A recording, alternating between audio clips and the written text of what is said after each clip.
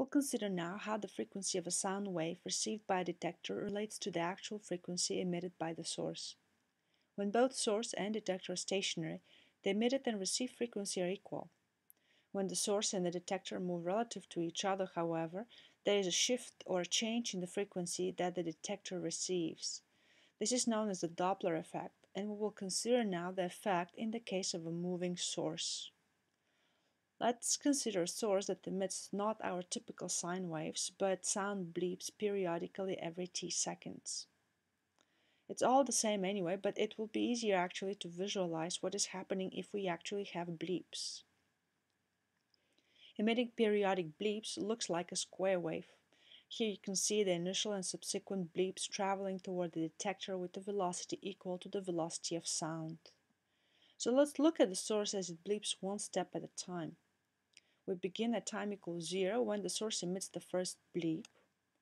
t seconds later, or at time equal t, the first bleep now has traveled a certain distance d toward the detector and the source is about to emit another bleep.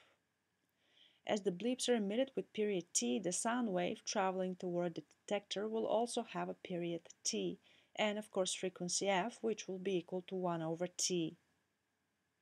Here now the time is equal to 2t and the source is about to emit a third bleep. Let's look at the spacing of those bleeps.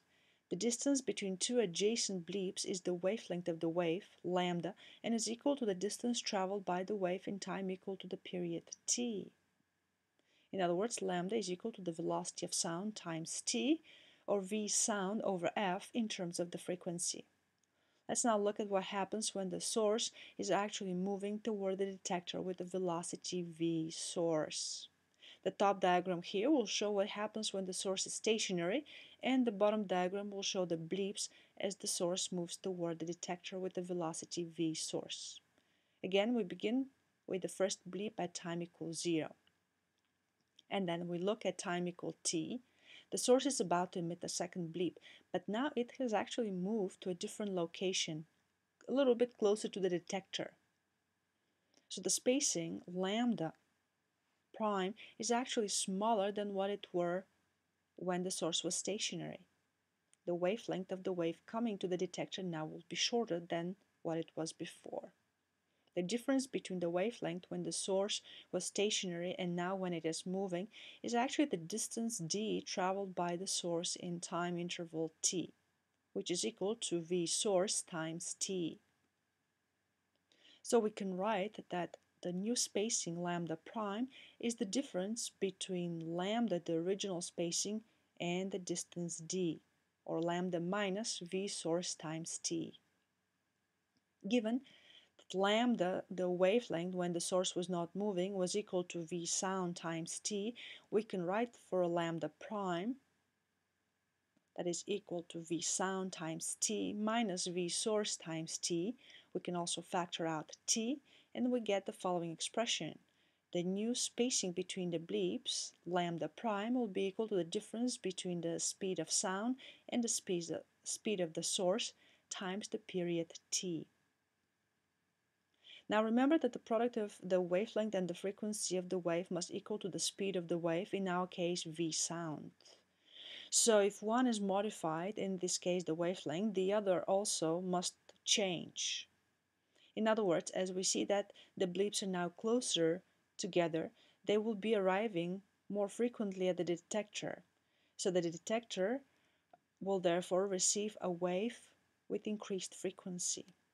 So we write lambda prime, which must be equal to the velocity of sound over f prime, is equal to v sound minus v source times t, or 1 over f in terms of the frequency. So the frequency at the, at the detector f prime must be equal to the frequency emitted by the source times the following factor, f v sound over v sound minus v source. Or alternatively, we can write that the frequency f prime must be equal to the frequency of the wave emitted by the source times 1 over 1 minus v source over v sound. Here we have divided by the speed of sound both the numerator and the denominator of the fraction. Now let's see what happens if the source is moving but away from the detector. We begin again at time 0 when the source is about to emit the first bleep. At time t, when the source is about to emit the second bleep, it has already moved away from the detector. We see immediately that the spacing between the bleeps now will be larger than before. The difference again will be equal to the distance d traveled by the source equal to v source times t. But while before the new wavelength was smaller and we had to subtract that distance d from the original wavelength, now the new wavelength is larger so we have to add the distance d to the original wavelength or lambda prime must be equal to lambda plus d